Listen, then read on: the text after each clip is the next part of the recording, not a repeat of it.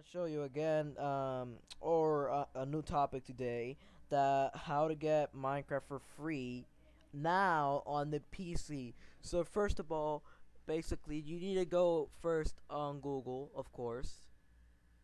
Go to Google first. Sorry for the internet connection. The internet connection is so bad right now. It's so laggy.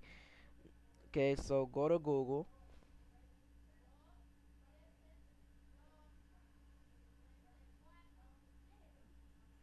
Okay, Google.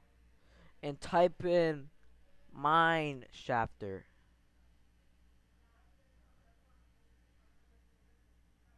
Shafter. Mine shafter download. Or MineShafter. So you go there in that website. And when you uh, when you go to that website, you're you're uh, there's a you get Minecraft for free, um, the Java edition. So so you um wait until it loads.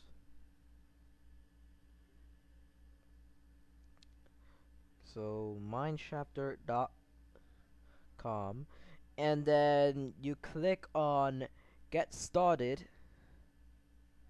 and it, it, it said it, um it said that the Minecraft also requires it also requires Java with because it's Java edition.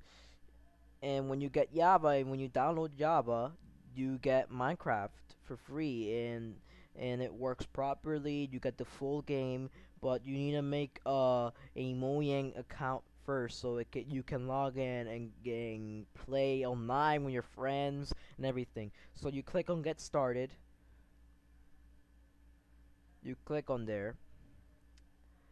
And you click on number 4 download and that's how you start.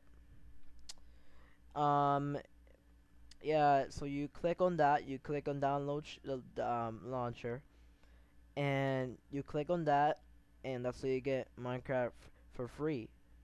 But first, you need to download Java if you don't have Java. So, if you have Java, uh, you're fine. And then you click on that. You click on download the launcher, and it, it, it starts. And that's it. You download Minecraft. It's been General Skills, and I'm out.